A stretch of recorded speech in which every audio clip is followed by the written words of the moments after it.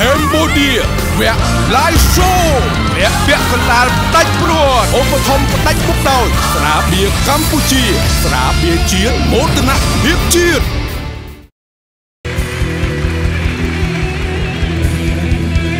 សូមស្វាគមន៍ជាបន្តមកកាន់កម្មវិធី The Voice Cambodia រដូវកាលទី2វគ្គពាក់កណ្ដាល មិត្តទូរទស្សនិកជនជាទីគោរពនិងជាទីមេត្រីអរគុណសម្រាប់ការចំណាយពេលវេលាទន្ទឹងរង់ចាំនៅក្នុងកម្មវិធីរបស់យើងនៅក្នុងសប្តាហ៍នេះហើយវគ្គនេះគឺជាវគ្គពិសេសដែលបងប្អូនកំពុងតែទន្ទឹងរង់ចាំតាមបណ្ដាគេហដ្ឋានគ្រប់ទាំងអស់ទូទាំងប្រទេសកម្ពុជាឆ្លងកាត់នឹងការបង្ហាញនៅសមត្ថភាពបទចម្រៀងពីរបទរបស់បេក្ខជនទាំង8រូបនៅក្នុងពេលនេះគឺជាការប្រកាសលទ្ធផលដូច្នេះមុននឹងធ្វើការប្រកាសលទ្ធផលខ្ញុំបានសូមអរគុណដល់អ្នកឧបត្ថម្ភផ្ដាច់មុខដោយស្រាបៀរកម្ពុជាស្រាបៀរកម្ពុជាស្រាបៀរជាតិមោទនភាពជាតិ ប្រិយមិត្តទូរទស្សនិកជនដំបូងគេនេះដែលជាការប្រកាសលទ្ធផលកូនក្រុម coach បាយរិនសូមអញ្ជើញកូនក្រុមខូចបាច់រិទ្ធឡើងបង្ហាញខ្លួន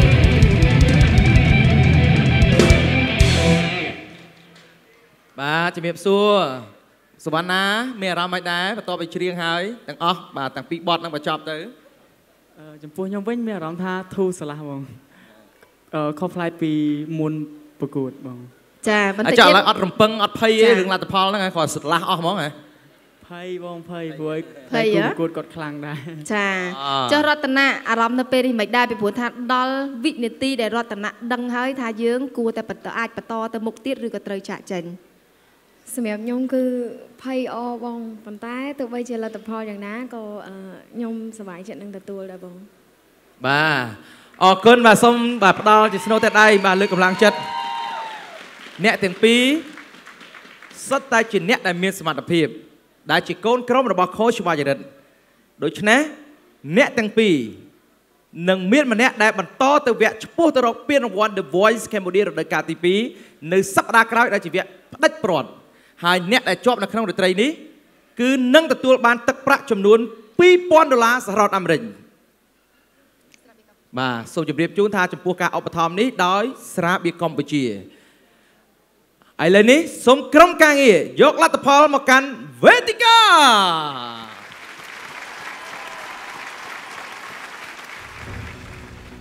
សូមអរគុណ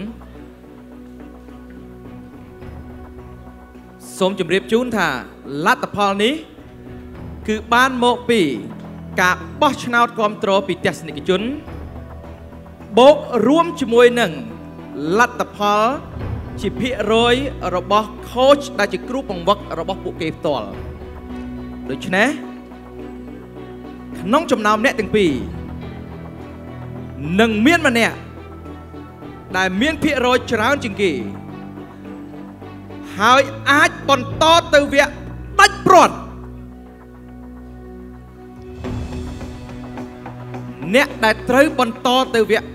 ព្រាត់ឆ្ពោះទៅរកពានរង្វាន់ The Voice Cambodia រដូវកាលទី2នេះគឺគឺ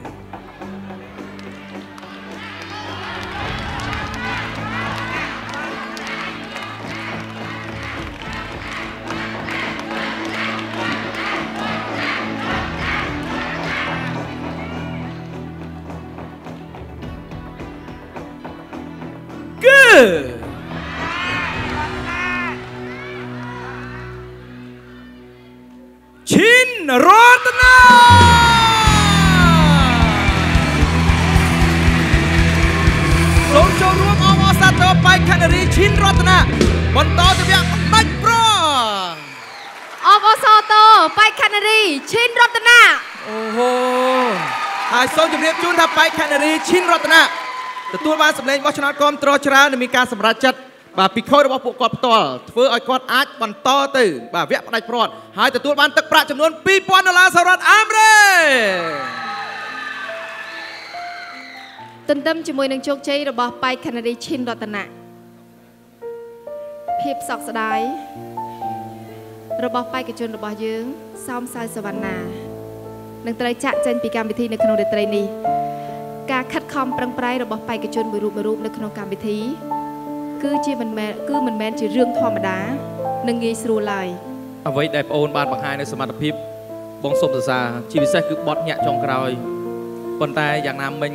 ការបូកសម្រាប់លទ្ធផលទៅធ្វើឲ្យបាទរតនៈ បាទធ្វើឲ្យរតនៈមានភាគរយបន្តទៅវគ្គផ្ដាច់ព្រាត់ប៉ុន្តែបងអូនធ្វើបានល្អអញ្ចឹងមានអ្វីចង់និយាយនៅក្នុងឱកាសនៅក្នុងពេលនេះបាទសូមអញ្ជើញបាទបងអូនជាដំបូងខ្ញុំសូមអរគុណដល់ទស្សនិកជនទាំងអស់ដែលបាន vote ឲ្យខ្ញុំបាទតាំងពីវគ្គ live show សប្តាហ៍ទី2រហូតដល់មកដល់ឥឡូវហើយអរគុណ PSE ដែលបានជួយជុំជ្រែងខ្ញុំតាំងពីពេលខ្ញុំប្រឡងដំបូង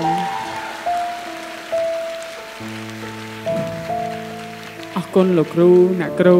ដែលនៅ PSE អរគុណមករាជបងភាដែលបាន comment ឲ្យខ្ញុំល្អល្អ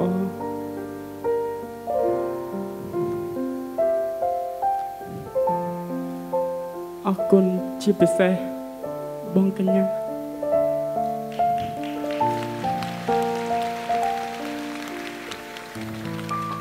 ដែលបានលើកទឹកចិត្តឲ្យខ្ញុំមកដល់ជំហាននេះ ខ្ញុំនៅតែចាំពាក្យបងនិយាយមួយម៉ាត់នៅក្នុងដើមទ្រូងខ្ញុំជានិច្ចទោះបីជាយ៉ាងណាក៏យើងត្រូវថាប្រយុទ្ធទោះបីជាបាក់ទឹកចិត្តយ៉ាងណាក៏ដោយកុំតម្លាក់ដាវចុះ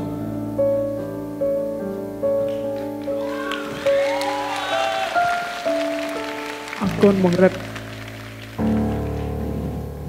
ខ្ញុំសប្បាយចិត្តដែលបានបងជាខូចរបស់ខ្ញុំ ខ្ញុំទទួលស្គាល់ថ្ងៃនេះគឺខ្ញុំចាញ់ប៉ុន្តែវាជាជោគជ័យរបស់ខ្ញុំដោយសារតែខ្ញុំគ្រាន់តែជានិស្សិតម្នាក់ហើយខ្ញុំអាចមកដល់ជំហាននេះគឺជាជោគជ័យសម្រាប់ខ្ញុំអរគុណបងរិទ្ធអរគុណទស្សនិកជនទាំងអស់គ្នាអរគុណលោកគ្រូភ្លេងបងទីអរគុណបងទាំងពីរបាទអរគុណសូមអរគុណបាទប៉ុណ្ណាអរគុណបងកញ្ញា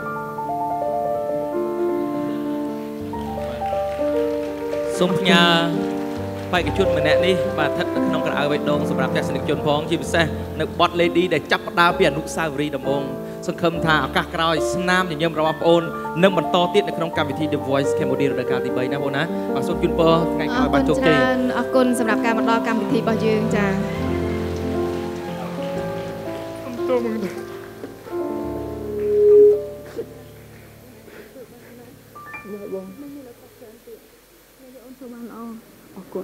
បងអរគុណត្រអូនណាអរគុណបងអរគុណអរគុណបាទសូមផ្ដល់ជាកម្លាំងចិត្តមួយតាមពិតទៅស្នាមញញឹមរបស់បាទសុវណ្ណាមានតាំងពីដំបូងបាទធ្វើឲ្យបរិយាកាសនេះសប្បាយណាស់តាំងពីបាទបទចម្រៀងមានការគ្រប់គ្រងរហូតដល់ពេលនេះបាទជឿជាក់ថាបងអូនមានសមត្ថភាពប៉ុន្តែយ៉ាងណាមិញលក្ខខណ្ឌគឺតម្រូវឲ្យមានតែម្នាក់តែប៉ុណ្ណោះដែលត្រូវបន្តទៅវគ្គផ្ដាច់ព្រាត់នៅសប្តាហ៍ក្រោយ ប្រិយមិត្តទូរទស្សនិកជនឥឡូវនេះសូមទស្សនាការប្រកាសលទ្ធផល កូនក្រុមរបស់ខូចកញ្ញាសូមអញ្ជើញកូនក្រុមរបស់ខូចកញ្ញាបង្ហាញខ្លួនចាជំរាបសួរម្ដងទៀតបាទចាថាលថៃនិងសាណាសាណានិងថែវថៃបាទសូមជម្រាបសួរម្ដងទៀតអញ្ចឹងក្នុងចំណោមអ្នកទាំងពីរក៏ម្នាក់ត្រូវបន្តហើយម្នាក់ទៀត បាទនឹងចាក់ចេញពីកម្មវិធីអ្នកដែលបន្តទទួលបានទឹកប្រាក់2000ដុល្លារឥឡូវអារម្មណ៍មកពីថែវថៃមុន បាទមានអារម្មណ៍បែបម៉េចដែរបងអូនក្នុងពេលនេះបាទសម្រាប់ខ្ញុំបាទថ្ងៃនេះពិតជាមានអារម្មណ៍ថាសប្បាយរីកខាងមែនតើដែលឃើញវត្តមានពុកម៉ែបងប្អូនចូលរួមយ៉ាងច្រើនក៏ក៏ដូចជាគ្រប់គ្រងនៅកម្មវិធី The World Cambodia វគ្គ2ផងដែរហើយអរគុណនៅទឹកចិត្តដ៏ធំធេងសម្រាប់ពុកម៉ែបងប្អូនទាំងអស់គ្នាផងដែរបាទមកដល់ក្នុងវគ្គនេះខ្ញុំគិតថាពិតជាមិនធម្មតាមែនសម្រាប់ខ្ញុំ ហើយខ្ញុំអរគុណនៅពុកម៉ែបងប្អូននៅចំណាយអឺទឹកប្រាក់ផ្ទាល់ខ្លួនដើម្បីផ្ញើសារគ្រប់គ្រងដល់បេក្ខជនអឺទាំងអស់គ្នាដែលប្រឡងកម្មវិធី The Voice ទាំងអស់គ្នាផងដែរបាទអរគុណបាទអរគុណច្រើនឥឡូវចា៎បងអូនស្រីសាណាវិញជំរាអាបសួររម្មណ៍ម៉េចដែរសាណាភ័យទេបងអូនហើយមានអ្វីចង់និយាយបាទសូមអញ្ជើញចាអឺសម្រាប់ថ្ងៃនេះនាងខ្ញុំមានអារម្មណ៍ថាភ័យហើយនាងខ្ញុំក៏សប្បាយចិត្តដែរពេលដែលបានឡើងមកដល់វគ្គ semi final ព្រោះវគ្គនេះគឺជាវគ្គ មានន័យណាស់ហើយវាក៏ជាវគ្គធំនៃជីវិតខ្ញុំខ្ញុំមិនដែរគិតថានាងខ្ញុំឡើងមកដល់វគ្គ semi final ហ្នឹងឯងចាចាអរគុណច្រើនបាទអរគុណក្នុងចំណោមបេក្ខជនបេក្ខនារីទាំងពីររូបដែលជាកូនក្រុមរបស់ខូចកញ្ញាមានតែមួយរូបប៉ុណ្ណោះដែលបន្តជាមួយនឹងកម្មវិធីរបស់យើងទៅសប្តាហ៍ក្រោយដែលជាវគ្គផ្ដាច់ប្រវត្តិឥឡូវនេះសូមក្រុមការងារនៅក្នុងកម្មវិធី The Voice Cambodia រដូវកាលទី2យកលទ្ធផលមកប្រកល់ជូនយើងខ្ញុំ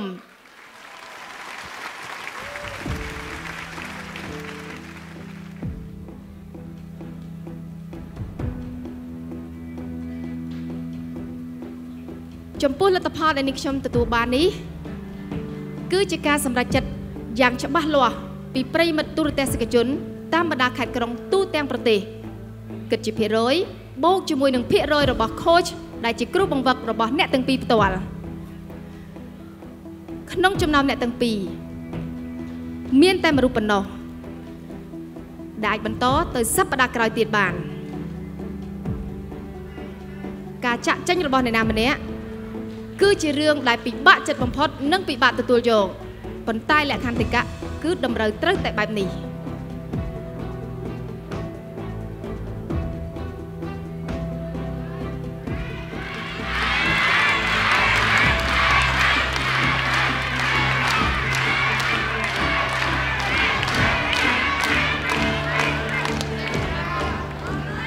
ចំពោះការសរុបលទ្ធផល របស់ទស្សនិកជន រួមផ្សំជាមួយនឹងគ្រូបង្វឹកផ្ទាល់អ្នកដែលអាចបន្តទៅសប្តាហ៍ក្រោយបានទៅលើ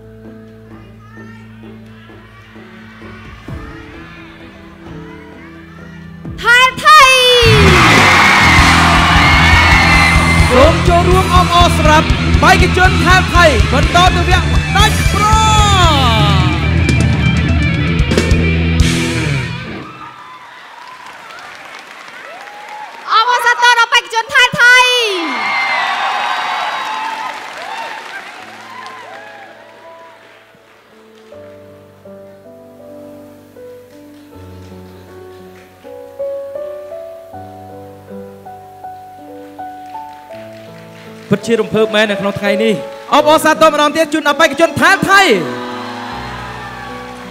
ចូលរួមសោកស្ដាយផងណាបងណាបាទក្មេងស្រីតូចដែលពុះពៀគ្រប់ឧបសគ្គទាំងអស់សឹងតែគ្រប់វគ្គនៅក្នុងកម្មវិធី The Voice Cambodia រដូវកាលទី2មិនថាមានព្យុះភ្លៀងយ៉ាងណា ការខិតខំប្រឹងប្រែងរបស់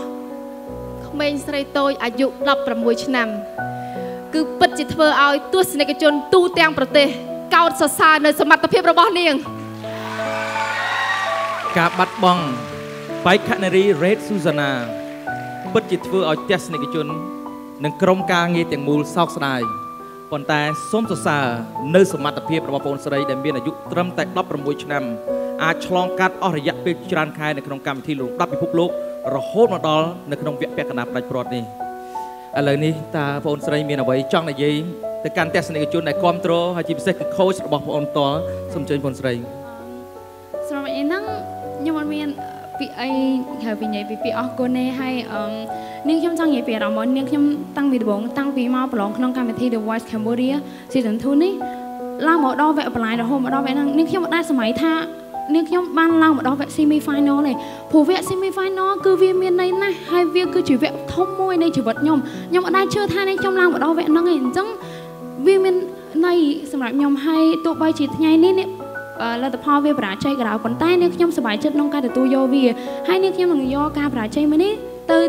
ជាបទពិសោធន៍របស់នាងខ្ញុំទៅថ្ងៃអនាគតហើយអូហូបាទល្អណាស់បាទហើយអឺ នាងខ្ញុំក៏សូមអរគុណដល់បងកញ្ញាដែលធ្វើជាខូចរបស់ខ្ញុំដែលបងតែងតែចំណាយពេលវេលាបង្ហាត់បង្រៀននាងខ្ញុំនិងប្រាប់ពីកលឹះនៃការច្រៀងធ្វើឲ្យនាងខ្ញុំមានការអភិវឌ្ឍជាងមុនខ្ញុំសូមអរគុណបងហើយក៏សូមអរគុណទៅបងទាំង4ដែលតែងតែផ្ដល់ជាកម្លាំងចិត្តឲ្យនាងខ្ញុំទើបនាងខ្ញុំមានកម្លាំងចិត្តឡើងមកច្រៀងនៅថ្ងៃនេះដោយសារតែមានពួកបងទាំង4ចាអរគុណហើយអឺនេះខ្ញុំក៏សូមអរគុណទៅស្ថានីយ៍រស្មីទទួលហងមាសដែលបានបង្ដែលបានបង្កើតកម្មវិធី The Voice Cambodia ដែលធ្វើឲ្យកូនខ្មែរគ្រប់រូបបានឡើងបញ្ចេញសមត្ថភាពធ្វើឲ្យអ្នកអឺអ្នកទាំងអស់គ្នាទស្សនិកជនអស់គ្នាបានឃើញពីសមត្ថភាពរបស់កូនខ្មែរថាកូនខ្មែរក៏មានសមត្ថភាពមកបង្ហាញនៅលើឆាកធំនេះមួយដែរអូបាទហើយនេះខ្ញុំក៏សូមអរគុណទៅដល់អ្នកគ្រប់គ្រងខ្ញុំតាំងពីវគ្គបន្លាញរហូតមកដល់វគ្គនេះពីព្រោះបើសិនជាអត់មានអ្នក គ្រប់គ្រងរបស់ខ្ញុំនាងខ្ញុំក៏អត់មានសិទ្ធអីឡើងមកដល់វគ្គ semi final នេះដែរបងខ្ញុំអត់មានថ្ងៃណាបំភ្លេចបងប្អូនបានទេចាអរគុណបាទពិតជាមានន័យបាទសម្រាប់ស៊ូសាណានៅឱកាសវែងឆ្ងាយទេបងណាមានអ្វីចង់បន្តទៀតបងបាទអឺជាចុងក្រោយ គឺនាងខ្ញុំសូមអរគុណយ៉ាងខ្លាំងទៅប៉ាម៉ាក់ជាមួយនឹងពូមីងបងប្អូនខ្ញុំទាំងអស់ដែលតែងតែគ្រប់គ្រងខ្ញុំឲ្យជាកម្លាំងចិត្តរបស់ខ្ញុំក្នុងកលៈទេសៈណាក៏ដោយទោះបី ជាមានរឿងអីពួកគាត់តែងតែលើកទឹកចិត្តខ្ញុំខ្ញុំសូមអរគុណចាអរគុណបងចា បាទអរគុណអាយុ16ឆ្នាំ ចា៎ ប៉ុន្តែបាទការខិតខំប្រឹងប្រែងបាទអ្វីដែលសំខាន់គឺភាពក្លាហានរបស់ប្អូនស្រី គឺមិនចោះចាញ់ទេអញ្ចឹងសង្ឃឹមថាបទពិសោធន៍មួយនេះប្រែคล้ายទៅជាការតស៊ូដើម្បីសម្រេចជោគជ័យព្រោះថាផ្លូវដំណើរវែងឆ្ងាយដែលប្អូនស្រីស៊ូសាណាចង់คล้ายទៅជាតារាចម្រៀងនៅវែងឆ្ងាយណាស់ ហើយប្អូនស្រីពិតជាមានសមត្ថភាពដែលអាចធ្វើមកដល់ពេលនេះបាទនៅក្នុងវគ្គពាក់កណ្ដាលផ្ដាច់ព្រាត់ជូនពរប្អូនស្រីនៅឱកាសក្រោយទទួលបានជោគជ័យអបអរសាទរបាទផ្ដល់ជាកម្លាំងចិត្តមួយបាទអស់ចាមែនតើចាបៃខណរីដេតស៊ូសាណាស្នាមញញឹមនិងភាពក្លាហានរបស់បៃខណរីរូបនេះបាទបានធ្វើឲ្យយុវជនយុវនារីខ្មែររបស់យើង ដែលមានវ័យសបាក់សបាលនឹងគាត់បាទទទួលស្គាល់នឹងសមត្ថភាពរបស់រេតស៊ូសាណាអរគុណច្រើនការចាក់ចេញរបស់អ្នកណាម្នាក់ក៏ដោយក៏យើង ពិបាកចិត្តជំនួសគាត់ប៉ុន្តែលក្ខន្តិកៈគឺយើងត្រូវការបេក្ខជននិងបេក្ខនារីតែ4រូបតែប៉ុណ្ណោះបន្តទៅសប្តាហ៍ក្រោយឥឡូវនេះការប្រកាសលទ្ធផលជាបន្តតម្រូវទៅលើកូនក្រុម Coach សោភាសូមអញ្ជើញកូនក្រុម Coach សោភាមកកាន់វេទិកា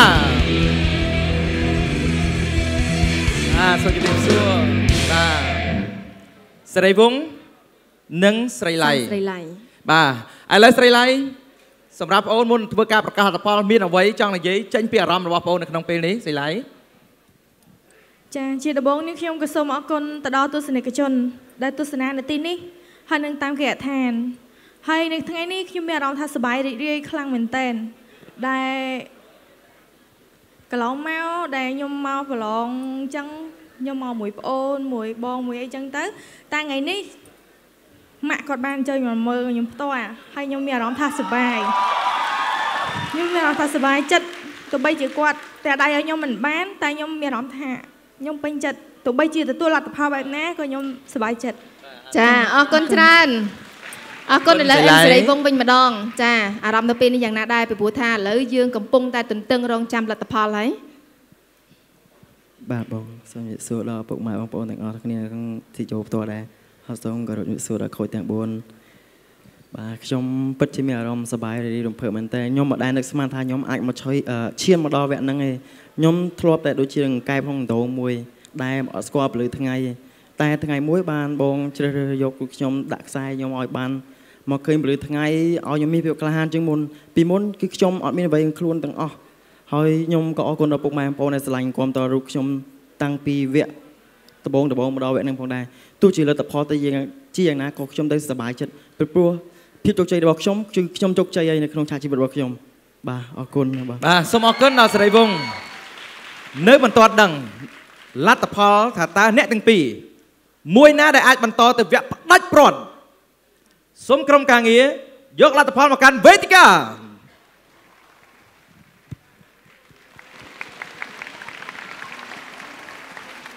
សូមអរគុណ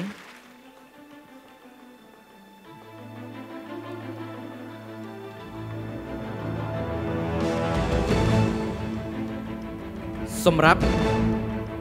កូនក្រុមខូចសុភាក្នុងចំណោមអ្នកទាំងពីរអ្នកដែល ទទួលបាន ភាគរយច្រើនជាងគេ ដើម្បីបន្តទៅវគ្គផ្ដាច់ព្រាត់គឺគឺ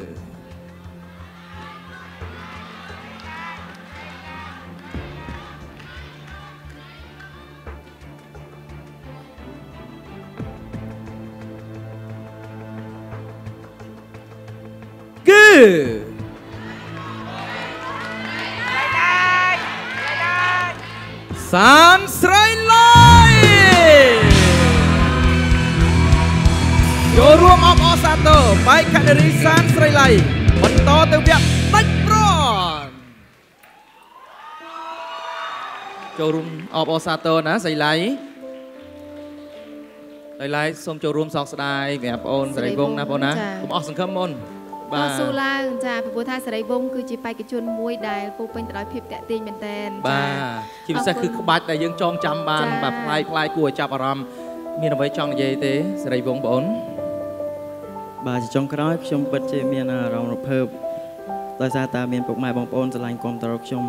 ហើយក៏ខ្ញុំសូមអរគុណដល់បងភាដែលបានបដិបដាខ្ញុំតាំងពីដើមរហូតមកដល់វគ្គនេះអរគុណដល់ខូចទាំង3ដែលបានផ្ដល់ជា comment comment ដ៏ល្អរូបខ្ញុំខ្ញុំពិតជាមានអារម្មណ៍រភើប រីករាយមែនតើខ្ញុំអត់ដែលបានមកមានអារម្មណ៍ថាខ្ញុំបានឈរលើមុខ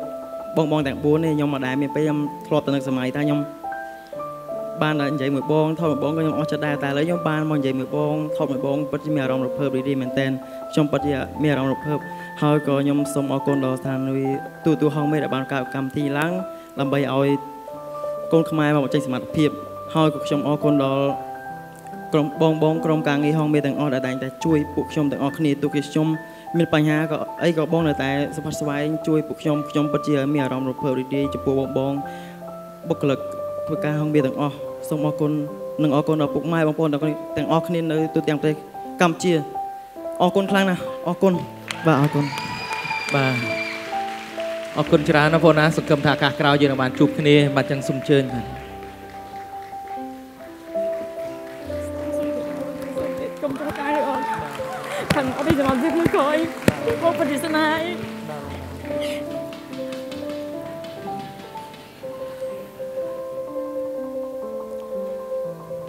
បាទសូមផ្ដល់ជាកម្លាំងចិត្តមួយបាទតាមពិតទៅអនុស្សាវរីយ៍របស់យើងខ្ញុំទាំងអស់គ្នាជាពិសេសគឺ coach ដែលជាគ្រូបង្វឹករបស់ពួកគាត់ផ្ទាល់ទាំងអស់គ្នានេះពិតជាសោកស្ដាយណាស់ព្រោះថាអនុស្សាវរីយ៍របស់បេក្ខជននិង coach ដែលគ្រូបង្វឹកត្រូវជួបគ្នាបាទស្ទើរតែរៀងរាល់ថ្ងៃក្នុងការបង្វឹកបង្ហាត់បាននៅសមត្ថភាពរបស់ពួកគាត់ប៉ុន្តែពេលនេះពួកគាត់ត្រូវបានឃ្លាតឆ្ងាយតាមរយៈកម្មវិធីដោយសារលក្ខខណ្ឌតម្រូវឲ្យមានតែម្នាក់គត់ក្នុងការដណ្ដើមយកពានរង្វាន់នៅវគ្គផ្ដាច់ព្រាត់ នៅសប្តាហ៍ក្រោយដែលខូចនីមួយៗមានកូនក្រុមតែម្នាក់គត់ប្រិមត្តទូរទស្សនិកជនឥឡូវនេះសូមទស្សនាការប្រកាសលទ្ធផលកូនក្រុមខូចសូវណ្ណរាជបាទសូមអញ្ជើញកូនក្រុមខូចសវណ្ណរាជមកកាន់វេទិកា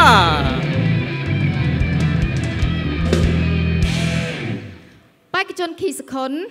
រួមជាមួយនឹងបេក្ខនារីង៉ែតសូរាំងសីក្នុងចំណោមអ្នកទាំងពីរ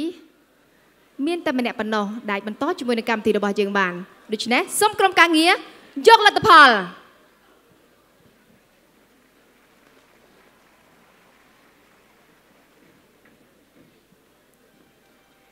អរគុណឥឡូវនេះលទ្ធផលមកដល់ដៃនាងខ្ញុំក៏ពិតមែនប៉ុន្តែនាងខ្ញុំចង់ដឹងពីអារម្មណ៍របស់អ្នកទាំងពីរបន្តិចទៀតបងនឹងបើកមើលក្នុងស្រោមសម្បត្តិនេះថាតើក្នុងចំណោមប្អូនទាំងពីរមួយរូបណាដែលអាចបន្តជាមួយនឹងកម្មវិធីរបស់យើងបាន បាទរាំងសីឥឡូវនេះអារម្មណ៍របស់រាំងសីមុននឹងធ្វើការប្រកាសតផលប្អូនមានអារម្មណ៍បែបម៉េចដែរបាទសូមចេញយោបល់ជម្រាបជូនដល់ទស្សនិកជនយើងចាជាដំបូងនេះខ្ញុំសូមអឺអឺគោរពដល់ទស្សនិកជននៅទីនេះក៏ដូចជាតាមគេឋាននិងបងប្អូនទាំងអស់ដែលតែងតែផ្ដល់អឺកិច្ចផ្ដល់អឺកម្លាំងចិត្តដល់នាងខ្ញុំរហូតតាំងពីដើមរហូតមកដល់ឥឡូវនេះ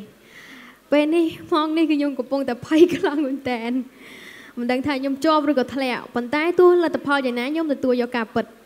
នៅពេលនេះបងចាអរគុណចុះចំណែកសខុនអារម្មណ៍នៅពេលនេះយ៉ាងណាដែរពីព្រោះថាលទ្ធផលនៅក្នុងដៃបងហើយបាទសម្រាប់ខ្ញុំអារម្មណ៍ខ្ញុំផ្ទាល់នៅពេលនេះគឺមានអារម្មណ៍ថាភ័យមែនទែន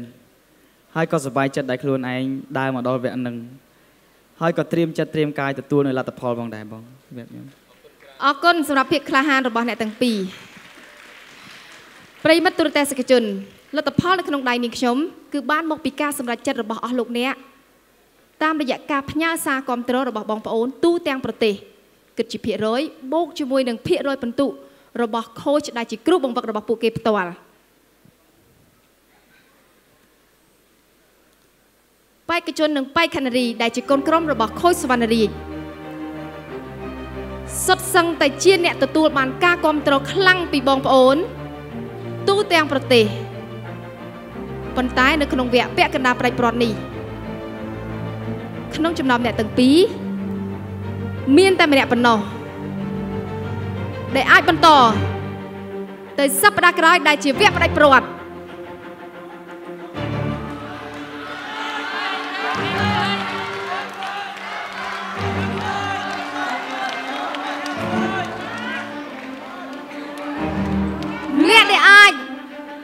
បន្តជាមួយនឹងកម្មវិធី The Voice Cambodia រដូវកាលទី2វគ្គផ្ដាច់ព្រាត់នៅសប្តាហ៍ក្រោយបានទៅលើ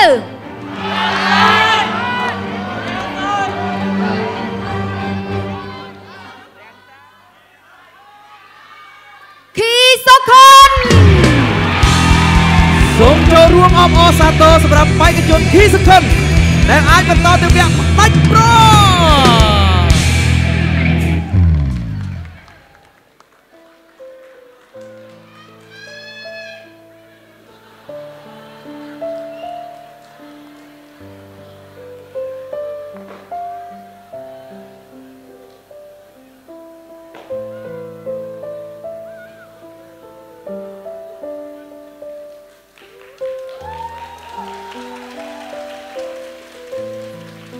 ពិតជាសោកស្ដាយបើទោះបីជាអ្នកទាំងពីរស្ថិតនៅក្នុងក្រុមតែមួយត្រូវធ្វើការប្រកួតប្រជែងគ្នាគ្រប់វគ្គទាំងអស់ប៉ុន្តែមនោសញ្ចេតនាគឺមិនអាចកាត់ថ្លៃបាន ជាពិសេសការខិតខំប្រឹងប្រែងតស៊ូតាំងពីដំណាក់កាលដំបូងនៃការជំរុះវគ្គ prediction រហូតមកដល់នៅក្នុងពេលនេះសូរៀងសីពិតជាបេក្ខនារីដែលមានសមត្ថភាពសោកស្ដាយណាស់ ប៉ុន្តែលក្ខខណ្ឌគឺតម្រូវឲ្យមានម្នាក់ត្រូវចាកចេញប៉ុន្តែរាំងសីពិតជាមានសមត្ថភាពបងសូមសរសើរឥឡូវមានអ្វីចង់និយាយទេបាទរាំងសីសម្រាប់ទស្សនិកជនដែលបានចូលរួមនៅក្នុងពេលវេលានេះសូមអរគុណទៅដល់ពុកម៉ែបងប្អូនទាំងអស់ដែលតែងតែគាំទ្រលើកឡើងទឹកចិត្តនេះខ្ញុំគ្រប់ពេល សូមអរគុណខូចទាំង4ជាភាសាបងរៀនអរគុណដល់បងក្រុមការងារទាំងអស់អរគុណដល់បងក្រុមភ្លេងសូមតោះលោកប៉ាដែលកូនទៅអត់បាន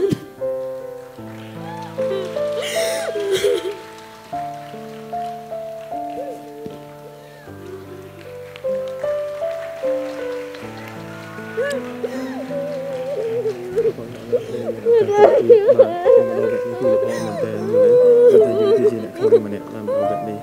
ណាខ្ញុំមានឱកាសជួយទៅស្គាល់ដែរ OK សន្យាមួយណាបាទ OK OK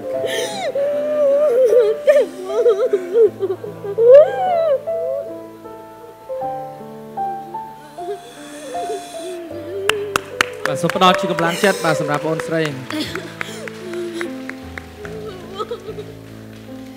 មកជឿទេ បាទពិតជាទប់ទឹកភ្នែកមិនបានប៉ុន្តែការសក់ទឹកភ្នែកនេះ គឺបង្ហាញឲ្យឃើញ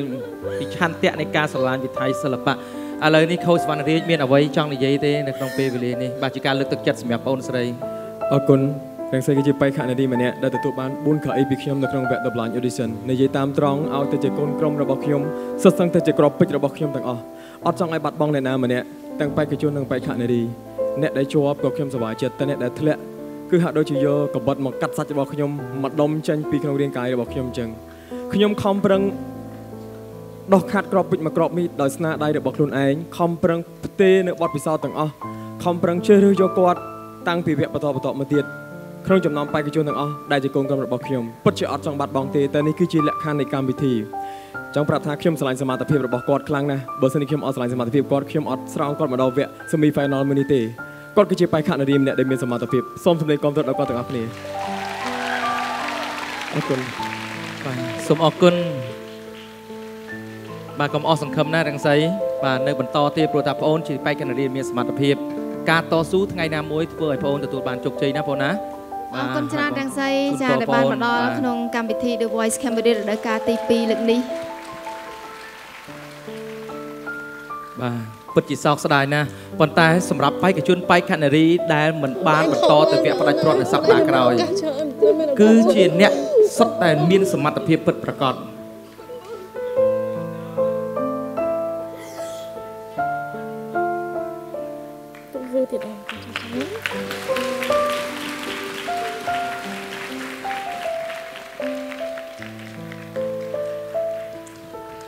មិនថាតែយើងខ្ញុំទាំងពីរនាក់ ឬក៏បងប្អូនទូទាំងប្រទេសកំពុងទេសនាកម្មវិធីរបស់យើង គឺពិតជាពិបាកទទួលនៅលទ្ធផលជំនួសរាំងសីបាទប្រិមិត្តទូរទស្សនិកជនដូច្នេះសូមជម្រាបជូនថា នៅសប្តាហ៍ក្រោយបេក្ខជនបេក្ខនារីដែលអាចបន្តទៅវគ្គផ្ដាច់ព្រាត់នៅសប្តាហ៍ក្រោយនេះនឹងឈានឆ្ពោះទៅរកពានរង្វាន់ The Voice Cambodia រដូវកាលទី2នេះ ដូច្នេះសូមប្រិមិត្តទូរទស្សនិកជនរងចាំទស្សនាហើយនឹងរងចាំមើលថាតើបេក្ខជនបេក្ខនារីរូបណាម្នាក់ណាដែលអាចក្លាយទៅជាម្ចាស់ពានរង្វាន់ The Voice Cambodia រដូវកាលទី2នេះបាន អរគុណទៅដល់ប្រិយមិត្តទូរទស្សនិកជនតាមបណ្ដាខេត្តក្រុងទូទាំងប្រទេសជាពិសេសអរគុណទៅដល់ប្រិយមិត្តទូរទស្សនិកជនដែលមានវត្តមាននៅទីនេះផ្ទាល់ដែលបានគ្រប់គ្រងកម្មវិធីរបស់យើងតាំងពីចាប់ផ្ដើមដំបូងរហូតមកដល់សប្ដាហ៍នេះផ្ទាល់តែម្ដងសង្ឃឹមថាប្រិយមិត្តទូរទស្សនិកជននឹងបន្តតាមដានទស្សនាកម្មវិធីរបស់យើងនៅសប្ដាហ៍ក្រោយដែលយើងមានបេក្ខជនបេក្ខនារីសរុបទាំងអស់ចំនួន4រូបដែលជាកូនក្រុមរបស់ coach នីមួយៗ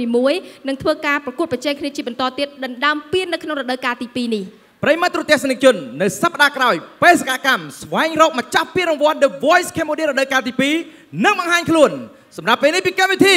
សូមអរគុណសូមគោរពលា